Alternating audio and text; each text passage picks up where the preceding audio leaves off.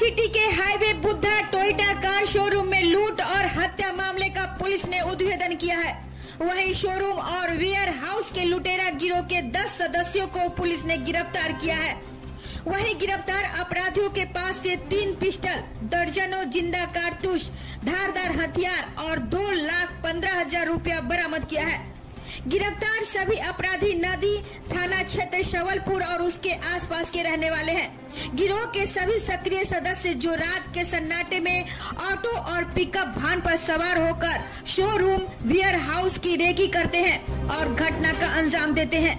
Patna SSP ने बताया कि बीते दिन पटना सिटी के माल सलामी थाना क्षेत्र के बाईपास एन एस थर्टी स्थित बुद्धा टोयोटा कार शोरूम में चौदह की संख्या में आए नकाबपोश डकैतों ने घुसकर गोदरेज का लॉक तोड़ 9 लाख रुपया कैश और कुछ अन्य सामान की लूट की थी। और नाइट गार्ड को लूट के दौरान में विरोध करने पर चाकू से गोद कर हत्या कर दिया था। थी जड़ी बूटी व्यवसाय दिनेश भदानी को गोली मार कर लूट करने के मामले में संलिप्त रहा है। पूछताछ में सभी गिरफ़्तार अपराधियों ने अपना जुर्म कबूल किया है और इस बार भी वेयर हाउस में लूट की योजना बनाए थे, जिसकी गुप्त सूचना मिली थी और पुलिस की गठित टीम ने सभी अपराधियों की गिरफ्तारी कर उनके मंसूबों पर पानी फेर दिया। पिंकी सिंह के साथ न्यूज़ क्राइम 24 टीम की रिपोर्ट। लोगों की गिरफ्तारी की है। आप लोग सभी जानते हैं कि विगत महीने, जुलाई में भी और अगस्त में भी दो इम्पोर्टेंट शोरूम्स थे ऑटोमोटिव कंपनियों के, जहाँ पर 9 और 10 की संख्या में अपराधी घुसकर, जो संबंधित शोरूम के गार्ड्स को कैप्चर किए थे और वहाँ से डकैती किए थे।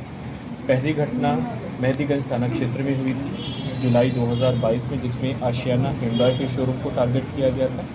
और उसके तकरीबन 10 दिनों के बाद 10 अगस्त को माल सलामी थाना अंतर्गत अवस्थित बुद्धा पेटा शोरूम में घटना हुई।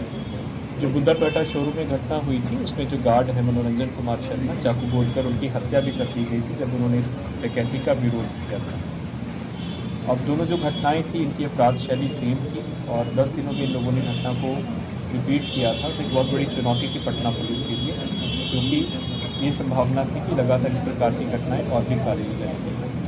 इन घटनाओं के उद्भेदन के लिए फिर हम लोगों ने एक विशेष टीम का गठन किया, नगर पुलिस अधीक्षक पूर्वी और अनुमंडल पुलिस पदाधिकारी पटना सिटी के नेतृत्व में, जिसमें थानाध्यक्ष माल सलामी, थाना अध्यक्ष मेहदीगंज थानाध्यक्ष दीदारगंज नदी और हमारे जो स्पेशल इन्वेस्टिगेशन यूनिट हमारी टीम है और डायल हंड्रेड की टीम को इसमें शामिल किया। हम लोगों ने इस प्रकार की सभी घटनाएँ जो अभी इसी साल हुई थी जहाँ जहाँ पे हम लोगों को पता चला कि जो बड़े वेयर हाउसेज हैं जब बड़े शोरूम कहाँ कहाँ से इस प्रकार की घटनाएँ हुई हैं, केवल डकैती की भी नहीं, बल्कि चोरी की भी घटनाएँ हुई क्योंकि इस गिरोह का स्पेशल था कि वेयर हाउसेज को और बड़े शोरूम्स को रात को टारगेट करता था। तो वहाँ पर हम लोगों ने तकनीकी अनुसंधान के बल पे और जो हम लोगों की मानव सूचना रहती है, उसी के बल पे हम लोगों को कुछ कुछ न्यूज़ मिले हिंट्स मिले और हम लोगों ने इस गिरोह को फॉलो करना शुरू किया। इसी क्रम में इस गिरोह के कुल दस लोगों की गिरफ्तारी हुई है।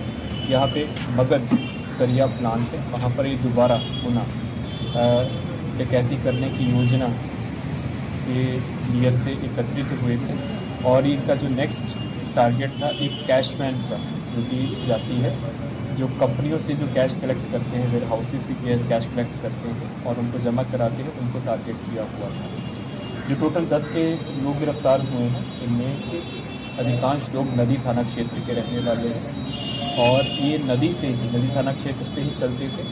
टेंपू या पिकअप वैन से लोग निकलते थे। रात भर ये लोग रैकी करते थे, जहाँ पर भी बड़े शोरूम्स होते थे जब बड़े गोदाम होते थे वेयर हाउसेस होते थे।